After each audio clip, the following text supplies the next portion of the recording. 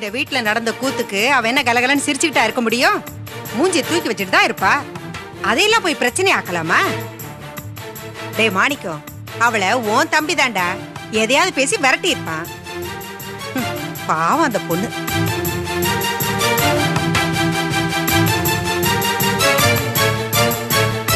ஆமாண்டா பாவம் அந்த பொண்ணு. இப்பதான் கல்யாணம் கட்டிட்டு நம்ம வீட்டுக்கு வந்திருக்கு. கட்டின புருஷன் நீ.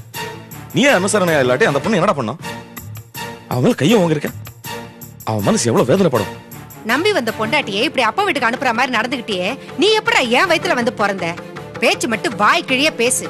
கொஞ்சம் கூட அறிவுங்கிறதே கிடையாது. டேய் பாலு சார் எதை நம்பி நம்ம வீட்டுல சம்மந்தம் பண்ணாரு? நீ அந்த பொண்ணை நல்லா வச்சு காப்பாத்துவேங்கிற நம்பிக்கையில தானே? அவரோட நம்பிக்கை வீண் போகிற மாதிரி நடந்துக்கலாமா நீ? இப்போ அந்த பொண்ணு அழுதுட்டு போய் அங்க நிக்கும்.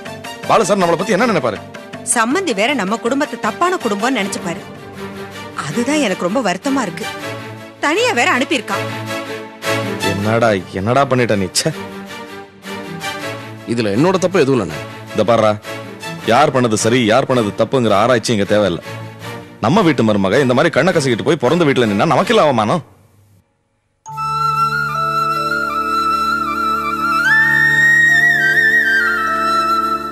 டேய் முத வேலையை கிளம்பி போய் அவளை கூட்டிட்டு வா. ஆமாண்டா. பாலு சார் பாவம் நல்ல மனுஷன். இதெல்லாம் சரியா இல்ல. போய் கூட்டிட்டு வா. சரி போறேன். கொஞ்சம் வேலை இருக்கு. முடிச்சுட்டு சாயங்காலமா போய் கூட்டிட்டு வரேன்.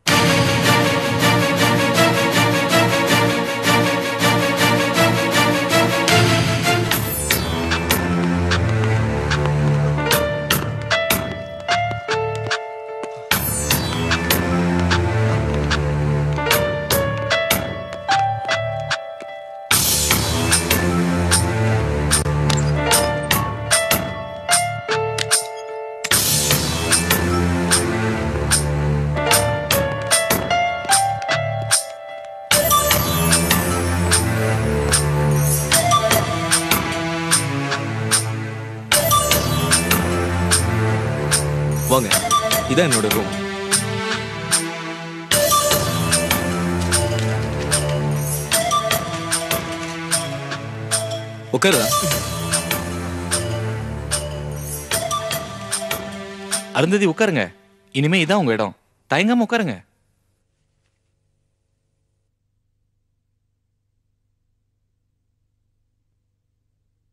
பசிக்குதா? இல்ல. ஏங்க போய் சொல்றீங்க? உங்க முகத்தை பார்த்தாலே தெரியுதே. டேய் அந்த பிரெட் எடுத்துக்குறா சாப்பிடுங்க. டேய் நீனு சாப்பிட்றா. இல்ல. நான் அப்புறம் சாப்பிடுறேன். டேவிட் இந்த இடத்த சட்டுன்னு யாராலும் கண்டுபிடிக்க முடியாது. அப்படி ஒரு இடம் இது. நீங்க ரெண்டு பேரும் பயப்படாம இங்கேயே தங்கலாம். அப்படி இல்ல சந்திரா. இவங்க அப்பாவை குறைச்சு எடை போட முடியாது. ரொம்ப மோசமானவர். ஆமாங்க. எங்க அப்பாவை பத்தி எனக்கே இப்பதான் முழுசா தெரியுது. இருக்கட்டுங்க. ஆனா இந்த இடத்த அவரால கண்டுபிடிக்கிறது ரொம்ப கஷ்டம். கண்டுபிடிச்சிட்டா? அது மட்டும் இல்ல. காலம் பூரா நாங்க ரெண்டு பேரும் இங்கே ஒளிஞ்சு வாழ முடியுமா? இத பாரு அவசரத்துல நாம எது பண்ணாலும் அது சரியா வராது. நீங்க ரெண்டு பேரும் அமைதியா பயப்படாம உட்காந்து ஃபியூச்சரை பிளான் பண்ணுங்க. அப்படியே அருந்ததியோட அப்பா தேடி பிடிச்சு இங்க வந்தா கூட நாம ஒன்னும் பயப்பட வேண்டியதில்ல. எனக்கு தெரிஞ்ச எஸ்ஐ ஒருத்தர் இருக்காரு. அது மட்டும் இல்ல இந்த மேட்டரை பத்தி வக்கீல் கிட்ட ஏற்கனவே நான் டிஸ்கஸ் பண்ணியாச்சு. அருந்ததிக்கு நடந்த கல்யாணத்தையே செல்லாதுன்னு சொல்லி ஒரு மனு போட்டு எல்லாத்தையும் கரெக்ட் பண்றேன்னு சொல்லியிருக்காரு. அது எப்படா முடியும்? ஏய் இந்த காலத்துல எதை வேணா குழப்பலாம்டா. அந்த வக்கீலுக்கு கொஞ்சம் காசு அதிகமா கொடுத்தா என்ன வேணா பண்ணுவேன்டா. அதனால நீங்க ரெண்டு பேரும் எதை பத்தியும் கவலைப்படாம தைரியமா இருங்க. இனிமே உங்களை பிரிக்க எந்த கொம்பனாலே முடியாது. அப்படி மீறி ஏதாவது பிரச்சனைனா நாங்க பாத்துக்கிறோம்.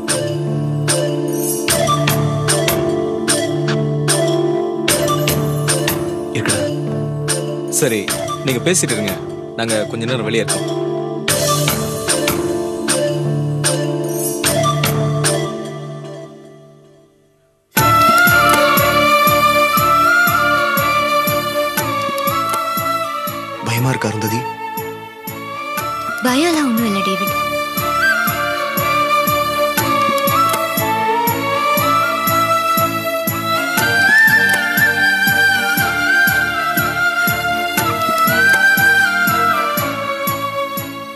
நிச்சயமா இனிமே நாம பிரிய மாட்டோம் டேவிட்.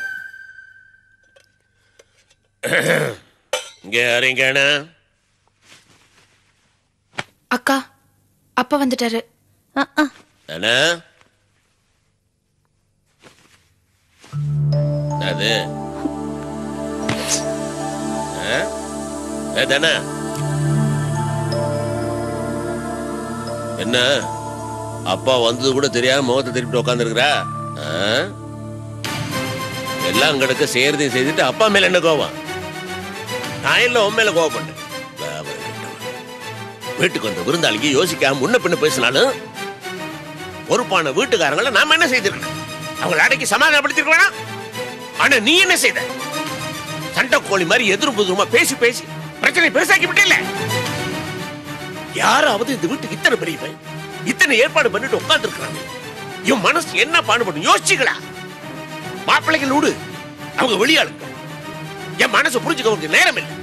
ஆனா நீ இந்த வீட்டு மூத்த மட்டும் தானே நான் வளர்த்த மட்டும் தானே என் மனசு என்ன சங்கடப்படும்? கொஞ்சமாவது யோசிச்சிருந்தா அப்படி பேசிருப்பியா நீ. யாராவது தான் பேச வேண்டியது? யோசிக்காம பதிலுக்கு வார்த்தை விட வேண்டியது. பிரச்சனை ஊதி பெருசாக்கி விட்டு அப்புறம் இப்படி உட்காந்துருக்க வேண்டியது. மூணு மாசம். மூணு மாசம் என்ன பாடுபட்டு தீபாவளிக்கு ஏற்பாடு பண்ண.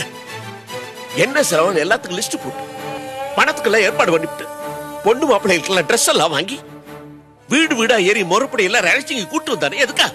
எதுக்காவ? எல்லாரும் சந்தோஷமா கொண்டாடி சிரிச்சுக்கிட்டு திரும்பி போனவங்க தானே? ஆனா என்ன நடந்துச்சு? ஒண்ணும் இல்லாதெல்லாம் பெருசு பண்ணி சண்டையாக்கி அவங்க சந்தோஷமும் கிட்டு என் சந்தோஷமும் கிட்டு. தேவைதானே பைத்தியக்கார எத்தனை வாட்டி சொல்லியிருக்காங்க பகல்ல பக்கம் பார்த்து பேசினேன் அது வீட்டுல விருந்தாளிக்கு இருக்கும்போது இன்னும் சாக்கிரதையா இருக்கணும். உன் குணமே இதுதானே படபடன்னு கொட்டிட வேண்டியது. அப்புறம் உட்காந்து அழுதுகிட்டு இருக்க இத்தனை ஏற்பாட்டு இவ்வளவு ஆசையா செஞ்சு நம்ம என்னத்தை கட்ட? நம்ம ஆசையா கட்ட ஊட்ட நம்மளே இடிச்ச மாதிரி உட்கார்ந்து இத பாரு தானே இதெல்லாம் உன் மனசை புண்படுத்தணும்னு நான் சொல்லல. இதெல்லாம் சொல்றதுக்கு நான் ஒருத்தன் தான் இருக்கிறேன் உனக்கு. இனிமேலாவது நாக்கு அடக்க பழகுமா? அடக்கி வாசி. அடக்கி வாசி.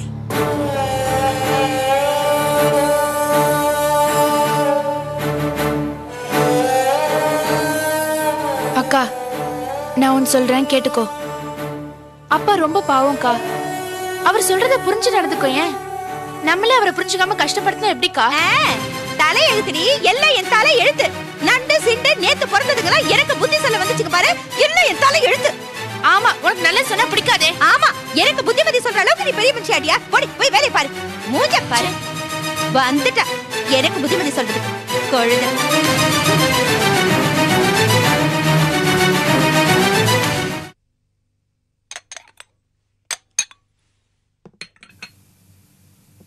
அத்த.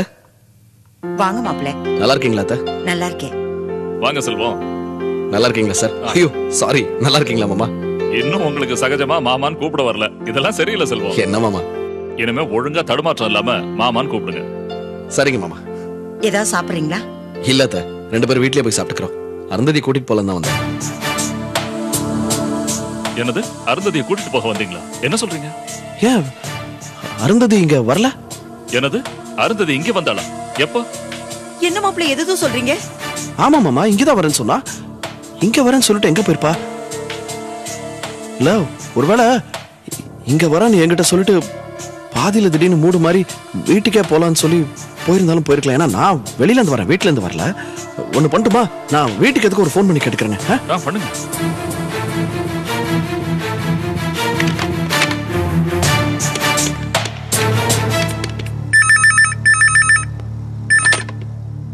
ஹலோ யாரு? மா நான் செல்வம் பேசுறேம்மா. என்னடா செல்வம்? அருந்ததிய பாத்தியா? என்னடா சொல்றா? ஏண்டா நீ திட்டினத பத்தி அவங்க அப்பா ஏதாவது கேட்டாரா உங்ககிட்ட இல்ல. டேய் அருந்ததி சொல்லிருக்க மாட்டாடா. அவ ரொம்ப நல்ல பொண்ணு. சரி நீ அருந்ததி எப்படா வரீங்க? இப்பவே இருட்டி போச்சேடா. சரி உங்களுக்கு சமைச்சு வைக்கட்டுமா?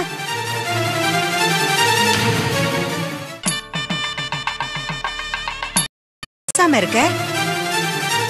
ஒண்ணும் இல்ல நீ போன வை நான் பேசுறேன். சரி நான் சமைக்கவா? இல்ல நீங்க அங்கேயே சாப்பிட்டுட்டு வந்துடுறீங்களா? நீ சொல்றது சரியா கேட்கலம்மா. நீ போன வைய நான் அப்புறம் பேசுறேன். சரிடா.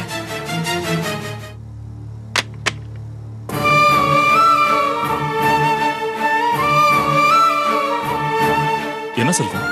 அருந்ததி அங்கேயும் இல்லையா? வீட்டுல இல்லையா? என்ன செல்வம் என்ன நடந்தது? ஆமா தயவு செஞ்சு என்ன எனக்கு தப்பா நினைக்க கூடாது என்ன மாப்பிள? என்ன சொல்றீங்க? எனக்கு ரொம்ப பதட்டமா இருக்கு. இல்ல காலையில அருந்ததிக்கும் எனக்கும் ஒரு சின்ன பிரச்சனை. அவ என் மேல கோச்சுக்கிட்டு இங்க வரதா சொல்லிட்டு கிளம்புனா? சரி இங்க தானே வரான்னு சொல்லி நானும் லேஸ்ல விட்டேன். இங்க வரலனா அப்போ ஐயோ என்னங்க நம்ம பொண்ணு எங்க போனாலும் தெரியலையே. எங்க? கொஞ்சம் பொறுமையா இரு. செல்வம் உங்களுக்குள்ள அப்படி என்ன சண்டை? ஒண்ணும் இல்ல மாமா. தீபாவளிக்கு அழகுருளம் போனோம் இல்லையா? அங்க யார்கிட்டயுமே அருந்ததி சரியா பேசல. அதனால அங்க ஒரு பிரச்சனை ஆயிடுச்சு. அங்கிருந்து வந்ததுல இருந்தே ஒரு மாதிரியா தான் இருந்தா. என்னம்மா என்னாச்சுன்னு கேட்டேன் அவ்வளவுதான். அதுக்கு கொஞ்சம் அதிகப்படியா பேசிட்டா. நானும் பதிலுக்கு பேச வார்த்தை வளர்ந்து தாங்க முடியாம கைய ஓங்கிட்டேன். கைய ஓங்குனேன் அவ்வளவுதான். அதுக்கு சாரி மாமா.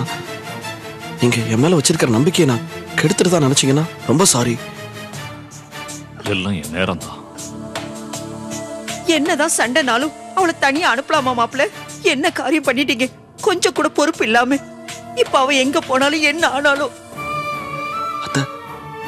நான் என்ன பேசுறதுனே தெரியல. உங்க முன்னாடி நிக்கிறதுக்கே சங்கடமா இருக்கு.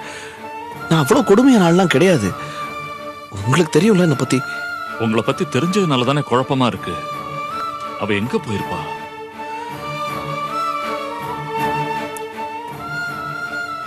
போலீஸ்ல வேணா கம்ப்ளைண்ட் பண்ணி பார்க்கலாமா? போலீஸ் ஸ்டேஷனுக்கு போய் கம்ப்ளைண்ட் எல்லாம் எதுவும் கொடுக்க வேண்டாம். கொஞ்சம் பொறுமையா இருப்போம். அவ எங்கேயாவது ஃப்ரெண்ட்ஸ் வீட்ல இருக்காளான்னு தேடி பார்ப்போமே.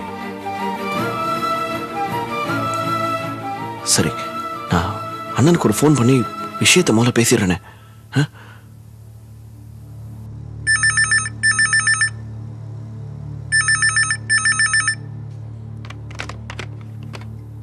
ஹலோ? மா செல்வம் தான் பேசுறேன். அண்ணன் இருந்தா ஒரு நிமிஷம் கொடுமா. ஆ ஒரு நிமிஷம் செல்வம். மாணிக்கம் வரேம்மா. செல்வம் பேசணுமா? ஹலோ? அண்ணன் நான் செல்வம் பேசுறேன். சொல்லுடா. நான் அருந்ததி வீட்ல இருந்து பேசுறேன். பிரச்சனை? பிரச்சனையா? என்னடா? காலையில அருந்ததி நம்ம வீட்ல இருந்து கிளம்பும்போது இங்க வரதா தான் சொல்லிட்டு கிளம்புனா? நான் இங்க வரவே இல்லையா அண்ணே. டேய் என்னடா சொல்ற? ஆமாண்ணே. எனக்கு படபடன்னு இருக்குடா. எனக்கும் கூட கேட்டதுல இருந்து டென்ஷனா தானே இருக்கு. அண்ணே கொஞ்சம் உடனே கிளம்பி வரீங்களா ப்ளீஸ் இதோ இதோ வந்துடுறேன்டா. என்னடா மாணிக்கம் என்ன பிரச்சனை? இங்க இருந்து கிளம்பி போன அருந்ததி வீட்டுக்கும் போலியா? எங்க போனானே தெரியல என்னடா சொல்ற? என்னடா அது? அப்ப அந்த பொண்ணு எங்கடா போச்சு? தெரியலையாமே? இப்ப என்னென்ன பண்றது? போலீஸ்ல கம்ப்ளைண்ட் பண்ண போறீங்களா? என்ன பண்றதுன்னே தெரியலம்மா. அதான் செல்வம் என்ன வர சொல்லிருக்கான் எங்க நீங்க உடனே போங்க. அங்க என்ன டென்ஷன் இருக்குமோ என்னமோ. சரி. போயிட்டு வந்துடுறேம்மா. மாணிக்கம் நானும் வரேன் மாணிக்கம். நீங்க எதுக்குமா நானும் வரேன்ப்பா. போலாம்ப்பா. சரி.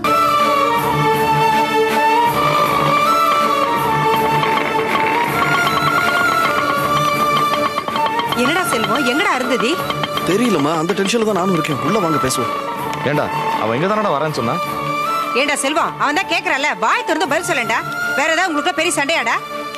அம்மா சண்டை போடுறதுனால ஒன்றும் அறிவு இருக்காடா உனக்கு? அப்படி என்னதான்டா பிரச்சனை? ப்ளீஸ்மா ஏற்கனவே அருந்ததியை காணும். நான் வேதனையில் இருக்கேன். மேல மேல டென்ஷன் பண்ணாதம்மா. ஏண்டா வசதியான வீட்டுல பிறந்து வளர்ந்த பொண்ணுடா அவ? ஒரு சொல்லு தாங்குவாளான்னு கொஞ்சமாவது யோசிக்க வேண்டாம் நீ. உன் அண்ணியை நாங்க திட்டினா மட்டும் அப்படியே வக்காலத்து வாங்கிட்டு வருவே நீ? எப்படி உன் பொண்டாட்டி கூட நீ சண்டை போட்ட? தனக்குன்னு வந்தா மட்டும் எல்லாம் மாறி போயிடுமா? ஏமா செல்வத்தை திட்டுறதுக்கா என் கூட கிளம்பி வந்தீங்க? பின்ன என்னத்தடா பேசுறது? கொஞ்சம் அனுசரிச்சு போயிருக்கலாம்ல? இப்ப பாரு எவ்வளவு பெரிய பிரச்சனையை கிளப்பி விட்டுருக்கான்னு. பாவம் அந்த பொண்ணு. எங்க இருக்காளோ என்ன பண்ணிட்டு இருக்காளோ? சரிம்மா இவனை திட்டுறதுனால எந்த பிரயோஜனமும் இல்ல. இப்ப ஆக வேண்டிய வேலையை பார்ப்போம். சார் நீங்க என்ன சார் சொல்றீங்க? அதான் மாணிக்கம் எனக்கு ரொம்ப குழப்பமா இருக்கு. இதுல குழம்புறதுக்கு என்ன சார் இருக்கு? வாங்க சார் போலீஸ்ல கம்ப்ளைண்ட் கொடுத்துருவோம். போலீஸ் ஸ்டேஷன் அது இதுன்னு சொல்லி. சார் காலில் கிளம்பி போன பொண்ணு நகையெல்லாம் வேற போட்டு போயிருக்கு. இவ்வளவு நேரம் ஆச்சு இன்னும் திரும்பி வரல. போலீஸ்ல கம்ப்ளைண்ட் கொடுக்கறது தான் சார் நல்லது. இல்லனா இதுவே பெரிய பிரச்சனை ஆனாலும் ஆயிடும். என்ன மாணிக்கம் சொல்ற நீ? ஆமாமா இந்த மாதிரி விஷயத்துல லேட் பண்றது தப்புமா போலீஸ்ல கம்ப்ளைண்ட் கொடுக்கறது தான் நல்லது. ஏன் சார் தயங்குறீங்க? பொண்ணு விஷயமாச்சே அதான் யோசிக்கிறேன். சார் நீங்க தயங்குறதுனால எந்த பிரச்சனையும் குறைய போறது இல்ல தயவுசெய்து கிளம்பி வாங்க சார். நீ ஏன்டா மரம் மாறி நிக்கிற? கிளம்புடா. இல்லண்ணே போலீஸ்க்கு போனா சரி போலாம். போலீஸ்ல கம்ப்ளைண்ட் வாங்க சார். வாங்க. வாங்கம்மா.